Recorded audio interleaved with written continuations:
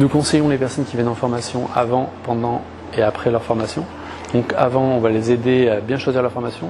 Pendant, le formateur va être là pour s'adapter à leur profil. Et après la formation, on va les aider administrativement.